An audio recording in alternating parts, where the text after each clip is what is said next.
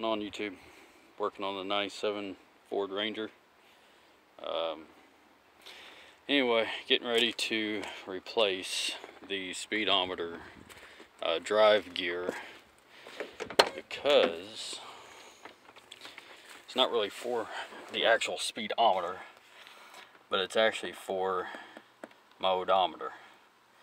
Uh, this thing stopped at 174,490 I'll say six and a half or no five and a half. Um, might as well say five and a half because it ain't at six.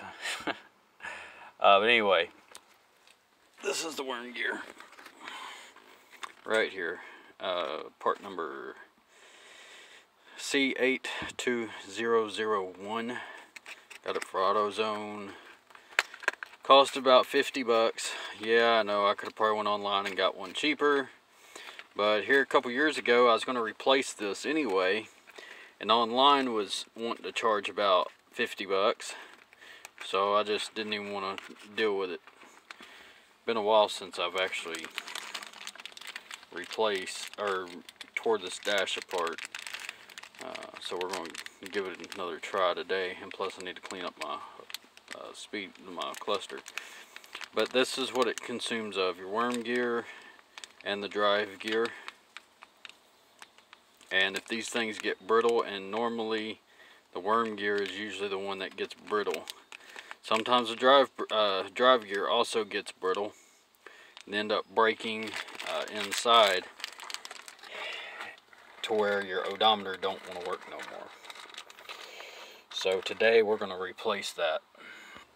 I'm sure probably going to be dealing with a little bit of electrical half inch uh, wrench and we'll loosen up the battery cable here take it off so there's no power getting to anything.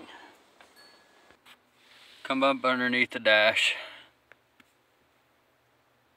You have bolts. It has also a uh, Torx bit style on them you can use a socket or you can use a Torx bit.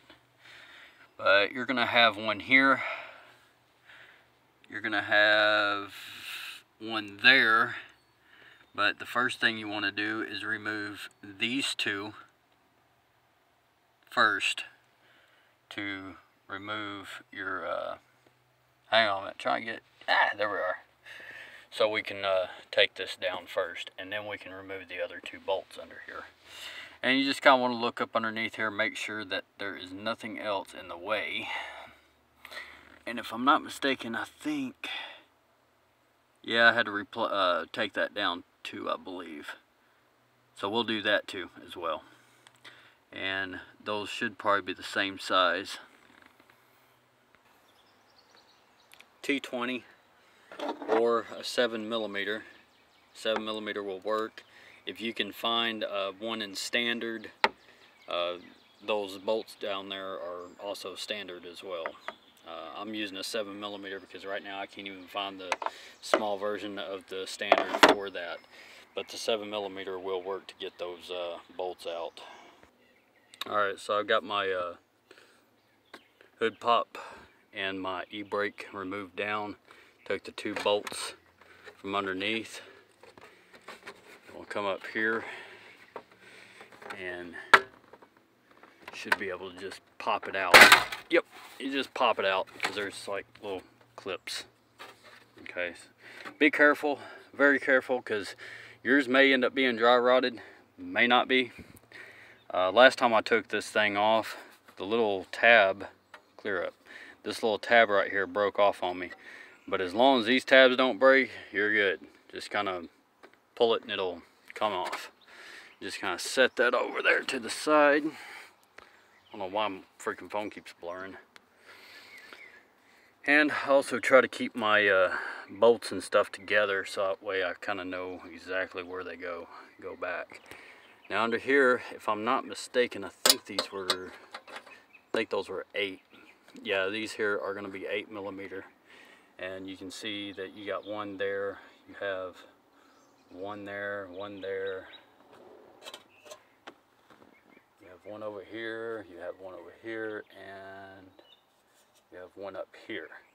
And this here will pull down. I just want to kind of mention too if you've got a drill I don't. Well I do but I don't have the the uh, gadgets or the connectors or whatever to hook on the socket but if you've got a drill uh, put it on low low torque and you can actually run these out with a drill. Make it a little bit faster that way you're not sitting here tearing your arms up trying to get these things out of here because these bolts are pretty long. Well they're not too bad but you can see how long they are. It's crazy that they put long bolts and stuff like this. I mean like they like it's gonna go anywhere like really. Anyway just kind of suggestion on that one. Okay so now since you got this far seven millimeter seven millimeter. You may want to remove your bezel around your radio if all possible. And you should have two bolts or two screws under here, but I don't. They got lost, so I can just pull that completely out. Um, now you may end up, like if you've got something here, you may end up having a wire or something that you may have to disconnect or something from here. Uh, but I just use just kind of move it out of the way just a little bit. And then I can get to also these three. You'll have uh, three, I think these are seven millimeter too. Yeah, they are. So you'll have uh, three of those going across here. And all this, you might want to pull your knob off. But we'll get through all this. All you gotta do is just kind of just pull it out some. Ah, there we go. Trying to see what I'm doing. Then trying to look through the camera all at the same time. I'm getting ready to put this thing on a toggle eventually and actually remount it. Uh, but that'll be on another day. Okay, so just got that removed out. And then you just want to take uh, a hand here, down here, when you get this side popped off, hand there, and a hand back in here, and it'll pop off, and down at the bottom. You just kind of want to work it.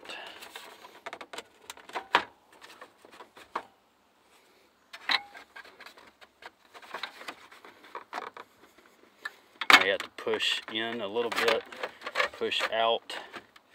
Now beware too because you also have connectors here that has to be pulled out. So I'm going to get that real quick. Also want to be careful that you also hold this. And mine's broke down here, uh, here a while back, but you might want to hold this and use a screwdriver and just kind of pry around and slowly loosen that uh, connector out.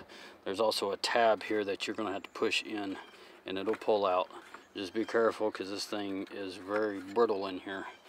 Uh, I mean, like, even like right here. Plastic's starting to get old. I may end up eventually replacing this here, eventually, uh, later on, but today I'm not going, going to because right now I'm just trying to get into the cluster and show y'all how to get in here and uh, get all this stuff done. And your uh, hazard signal, push that down and just remove your bezel the rest of the way. Um, this clip that's back here, you'll have to get a flathead screwdriver and prise up right there on this piece and take your other hand and move it out of the way. And then once you do that, you can just remove the bezel piece and set it off to the side. Now you're off in here. And I want to say, I think all these are 7 2. Yeah, they are. You have a bolt here, you got a bolt here, you got a bolt there, and you got a bolt down there and this here will move out and I think you'll have a couple little plug-ins back there as well. Alright, so once you got this step, just grab it, pull it out.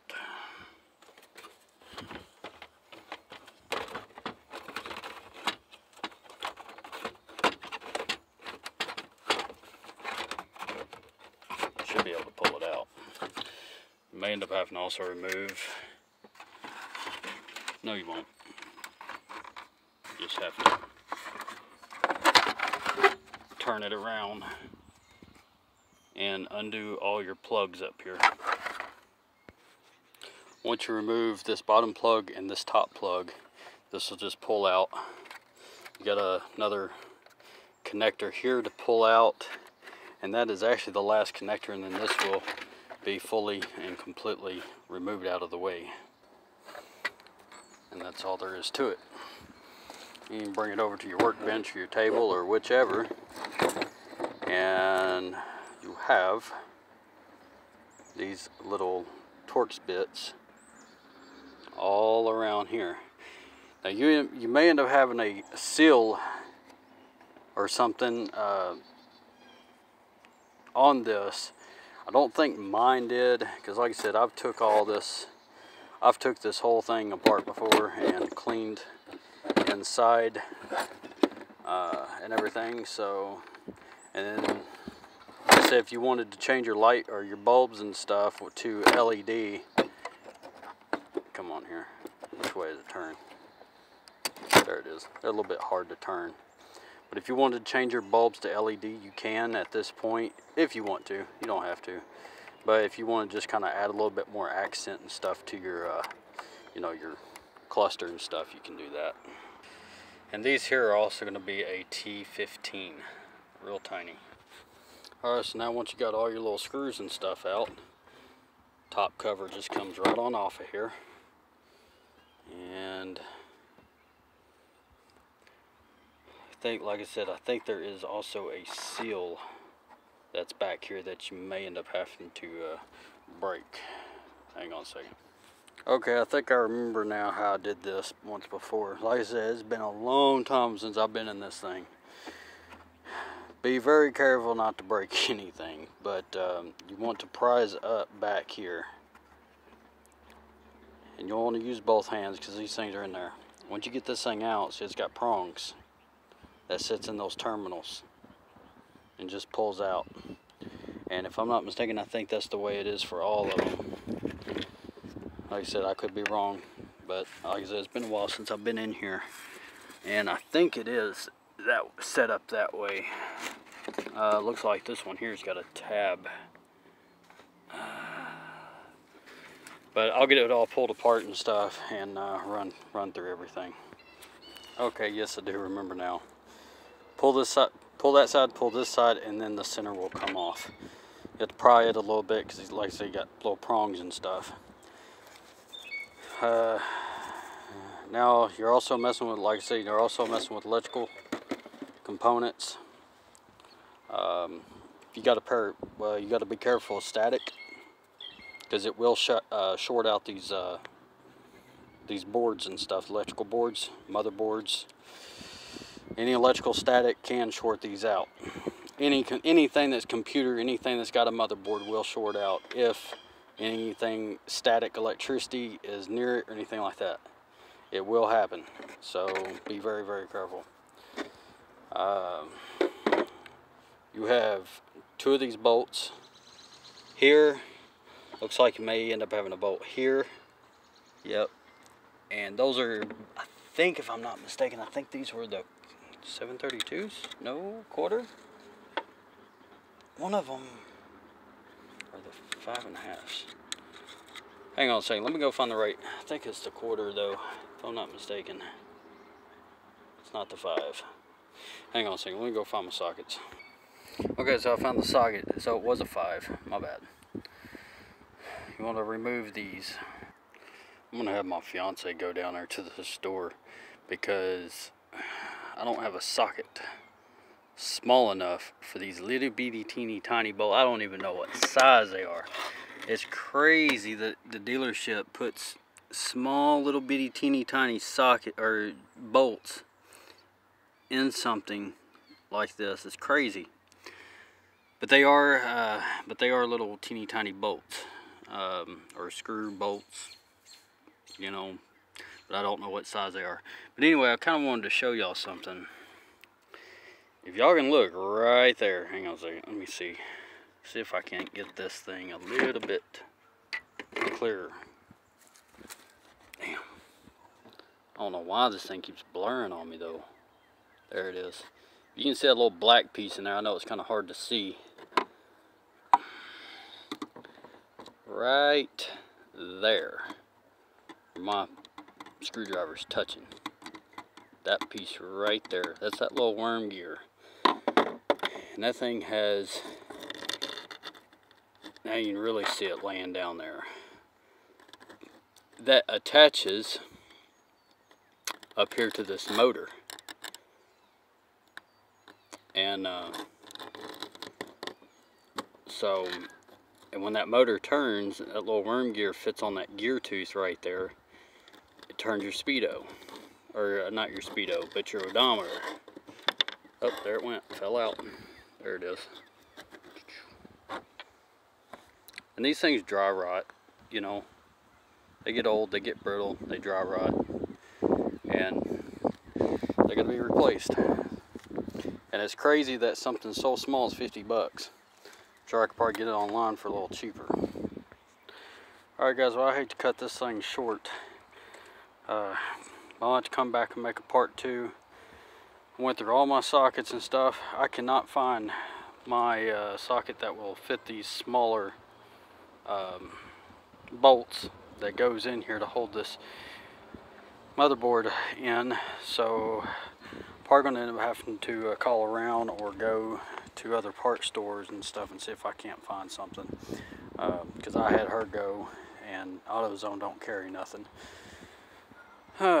So yeah, I think it's it's almost a 4, but it's not quite. It's a lot smaller than a 4 millimeter, and I'm not even sure if it's even in standard. Uh, but I had a socket uh, almost close like this one here. It's a whole lot smaller. So I have no clue where it went. So I'll probably end up having to go to the store and go get me one. But anyway, I'm going to cut this short. I'll come back with a part two on this video. So y'all stay tuned.